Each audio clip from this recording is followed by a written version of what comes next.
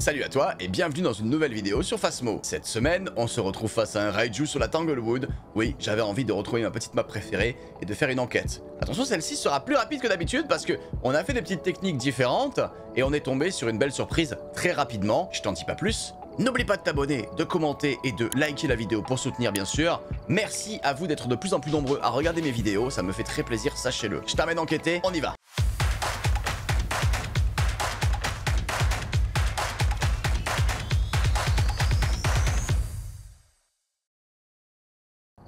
Ok, pour cette semaine, j'ai très envie de retourner sur ma petite tangle qui est ma map préférée, toujours en difficulté. 750, s'il te plaît, Phasmo Merci beaucoup Le stuff est là, toujours un peu pourri, mais on progresse petit à petit vers quelque chose d'un peu plus sérieux.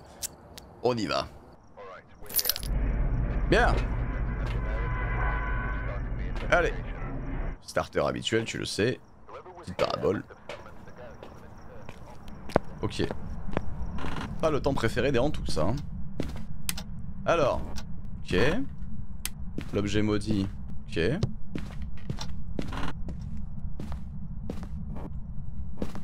Super.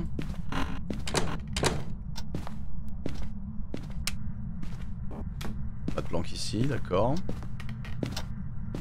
Quel est l'objet maudit?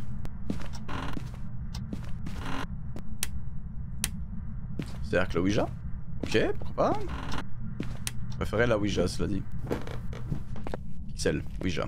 Ok. Allez, on va essayer de voir si on trouve l'entité, sinon on utilisera la Ouija. Hein, pour essayer de demander où est-ce qu'elle est. Peut être intéressant. Où êtes-vous? Comment tu t'appelles, toi? Tu t'appelles John Mills. John, Jen, Jane. John, Jane, John. Jane, John, John, Jane. Euh, comment on pourrait dire sans le E? Jan Jane Jay, Jean, je sais pas. Tu d'avoir un E, tu sais Jane. Ce jour, ça peut être pareil en fait. Je pense que ça doit être pareil. Ok, visiblement on trouve pas l'entité. On va quand même checker la cave avec le thermomètre. En général, si t'as pas d'activité particulière, c'est peut-être sous mon bascalet à la cave. 10 degrés. Elle est là. As entendu Elle a touché à ça. Je vais essayer de capter un petit son. Au microphone parabolique, ça peut être pas mal. Le microphone parabolique. Hmm. Et c'est non. Ok, pourquoi Alors. Ce que je te propose cette fois-ci, c'est qu'on va utiliser la Ouija pour lui demander où est-ce qu'elle est. Oui, je sais. On sait où est-ce qu'elle est. Ce qu'on veut, c'est baisser la santé mentale tout de suite pour essayer d'écarter un petit peu d'entité. Donc, ce que je vais faire, c'est que je vais prendre un petit encens, comme ceci. On sait jamais à qui on a affaire, donc il vaut mieux se protéger. Et par la suite, on va tester la chasse. Alors, dans un premier temps, ce que nous allons faire, c'est que nous allons poser l'encens ici. Nous allons poser le cruci en bas. que même pas, tu sais quoi? On va le garder. Comme ça, on pourra faire une chasse et contester l'entité encore plus facilement. Hop On sait qu'on a une marge de sécurité, donc autant qu'on soit euh, vigilant sur ce point. Mais surtout malin. Elle a touché encore la boîte en bas. Pourquoi pas? Alors, on va lui demander où est-ce qu'elle est. On sait bien évidemment où est-ce qu'elle est. Et on va l'attendre de pied ferme pour voir ce qu'elle donne. On va laisser le cruci ici pour se protéger, on sait jamais. Si t'as affaire à un spectre qui se téléporte sur toi et qu'après il part en chasse, hmm, va être un petit peu emmerdant. Donc là, on va voir si on a une chasse ou si on a quelque chose. Alors, on a une chasse. Oula.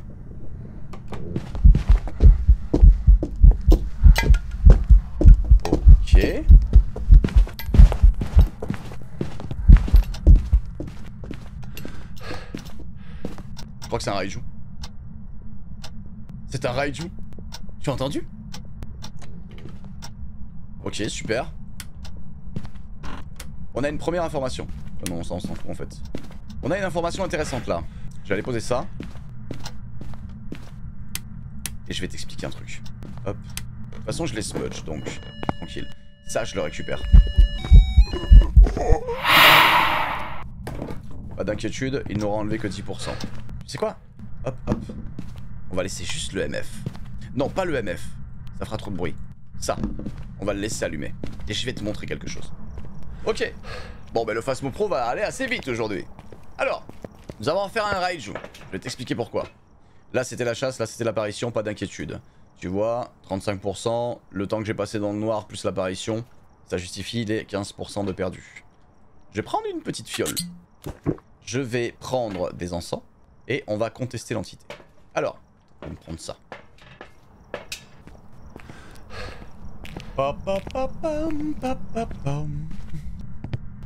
Nous avons donc affaire à un Raiju. Comment je le sais? Déjà, si on doit déduire quelque chose d'intéressant, j'ai utilisé la Ouija, j'ai demandé à l'entité où est-ce qu'elle était, ce qui m'a réduit de 50% ma santé mentale. J'étais donc à 50%. Ok, ça m'a enlevé 50%. L'ombre et le déogène n'auraient pas pu chasser. L'entité a chassé. Le cauchemar n'aurait pas pu chasser, puisque dans la lumière il aurait été à 40%. Elle a quand même chassé. Ok, soit. Intéressant. Donc déjà, on écarte ces trois entités rien qu'avec ce petit test euh, de chasse à 50% de santé mentale. C'est plutôt cool.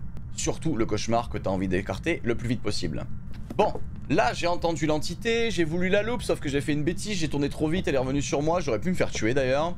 Euh, j'ai préféré craquer un encens et aller me cacher parce que j'ai très vite compris que j'allais faire un raiju. La raison principale, c'était les bruits de pas.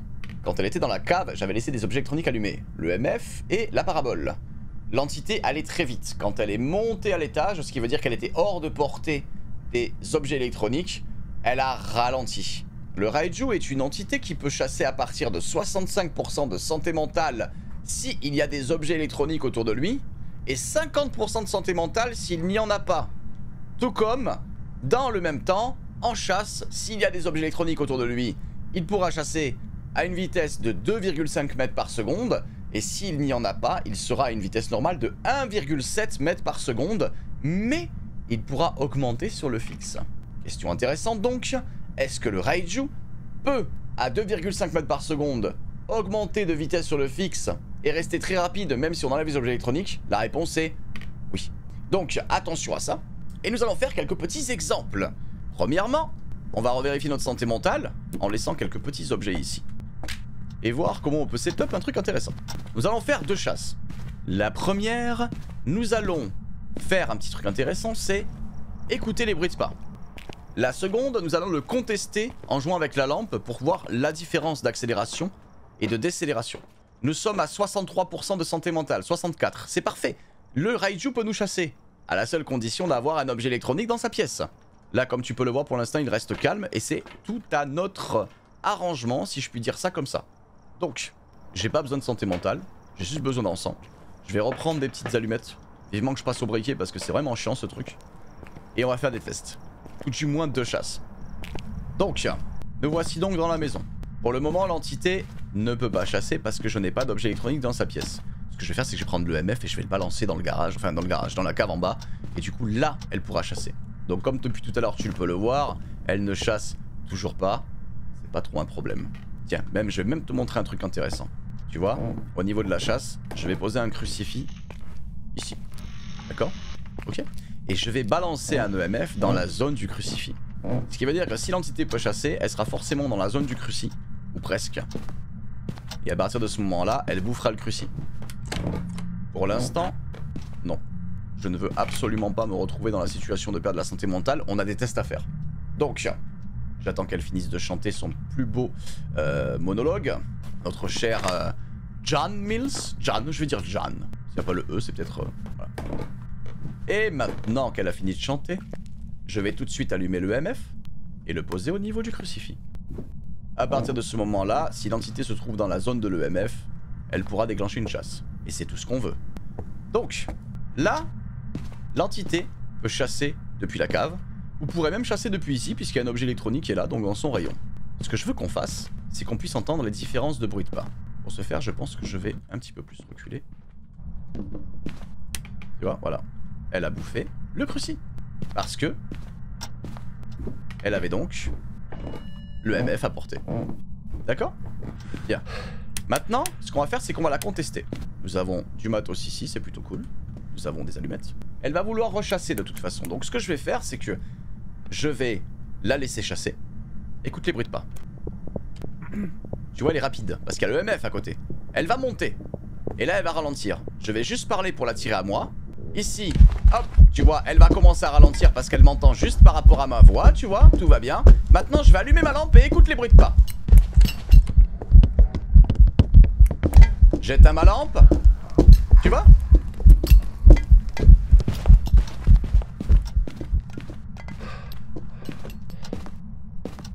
Ok, tu as eu quelques exemples. Maintenant, ce qu'on va faire, je vais te faire écouter les bruits de pas.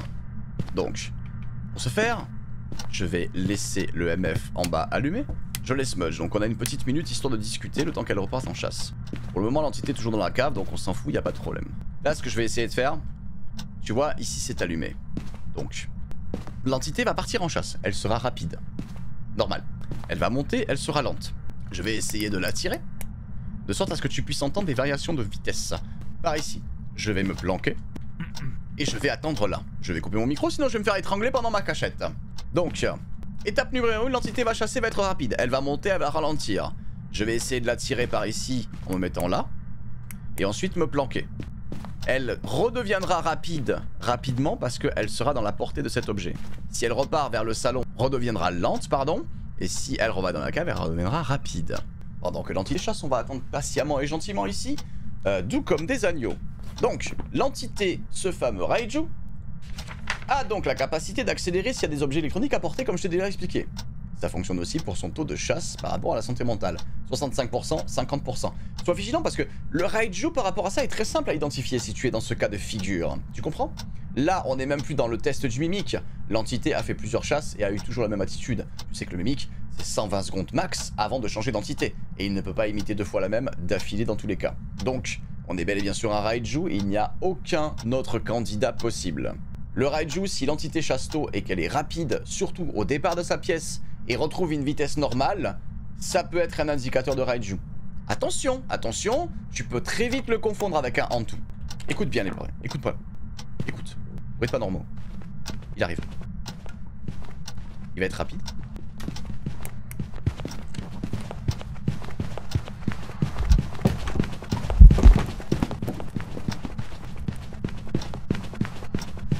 Dangereux. hein. Tu as entendu? C'était dangereux. Il s'est douté que j'étais là. Bon. Alors, qu'est-ce qu'on peut en dire de ce qui vient de se passer? L'entité est partie en chasse. Il a été rapide. Il, s'est ar- il, il est monté, il est ralenti, tu vois, il est arrivé par là et puis... C'est dommage, il est reparti. Donc ce que j'ai fait, c'est que j'ai fait un petit coup de lampe ici pour l'attirer. Forcément, il est venu dans la zone pour scouter jusque là. Tu vois? D'ailleurs, il est même passé devant en ouvrant les portes. hein. Il est venu ici et il est reparti. Bon, je l'ai smudge, hein, j'ai pas pris le risque de me faire étrangler. Par contre, quand il est arrivé vers là, il a été extrêmement rapide. Pourquoi? Parce que cet objet-là était allumé. Tu comprends? Et quand il est reparti vers là-bas, boum, il a recommencé à marcher normalement. Tu vois? Et puis ensuite, ok Donc c'est là la différence entre les capacités du Raiju. Honnêtement, je t'ai déjà montré énormément de choses sur le Raiju. Il n'y en a pas plus à montrer que cela. Euh, si ce n'est de retenir que 65% quand il y a des objets électroniques pour chasser, 50 quand il n'y en a pas, 2,5 mètres par seconde quand il est en chasse avec des objets électroniques, 1,7 quand il n'y en a pas. Il augmente sur la poursuite. Alors attention, le Raiju est une entité qui peut être dangereuse, mais facile à identifier de par ses forces et faiblesses. D'accord? Donc, si tu as des soucis pour reconnaître les bruits de pas en chasse, je te mets dans les fiches tout de suite le guide de vitesse de pas des entités sur lequel j'avais travaillé, où j'ai enregistré tous les bruits de pas et que je t'ai restitué dans une vidéo complète sur toutes les entités. Tu auras même les chapitres pour le choisir.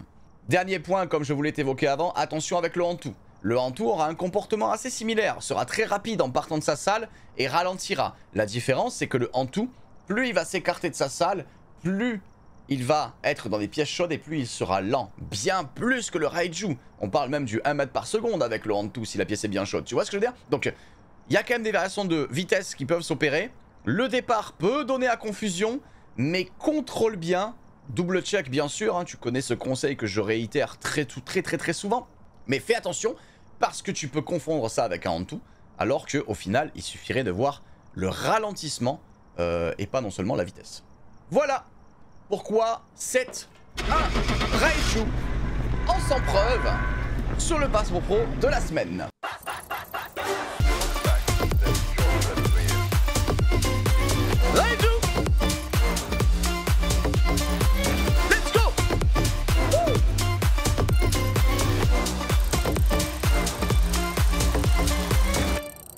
Raiju, un petit Raiju cadeau Petit combo sympa avec euh, la Ouija, ça fait vraiment plaisir. Ah, le crucifix tier 2, ça aussi c'est agréable. Hop là Tout de suite, on achète, on adhère.